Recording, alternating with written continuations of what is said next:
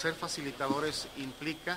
en coadyuvar a que ellos desarrollen adecuadamente su labor y que la cuestión de carácter reglamentaria no impida la implementación de un negocio ni el desarrollo de sus actividades. Ser promotor tiene que ver con la facilidad que realice la presidencia municipal de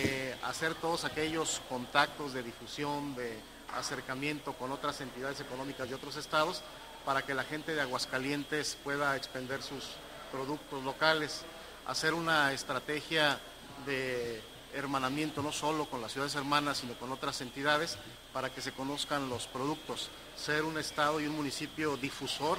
de lo que aquí se produce. Y también propiciar el consumo interno, darle un realce municipal al programa Orgullo Aguascalientes para que los habitantes de nuestro municipio consuman lo que producimos entre nosotros.